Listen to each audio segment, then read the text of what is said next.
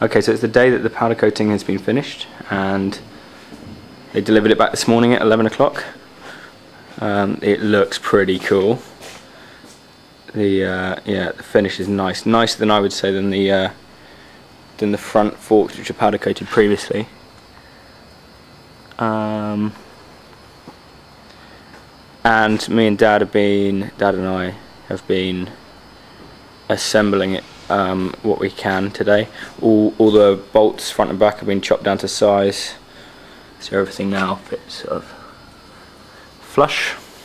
Um, petrol tank is in temporarily, and we're just sorting out the fixings on that.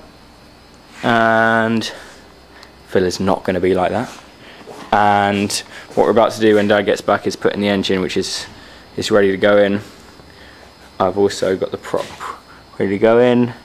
Um, what else have we done? Brake lines have have been wired up this time, but they terminate just inside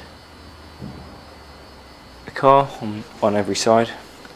And the same in here, but at the back we've got um, at the back we have the handbrake in as well, which is a cable that ends up being oh, it's rubbish to see.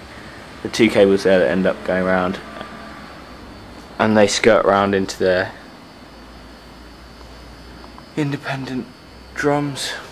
It's difficult to see, especially in this light. But yeah, no, I'm happy with it. So that's the car thus far. I might leave the camera on while we put the engine in.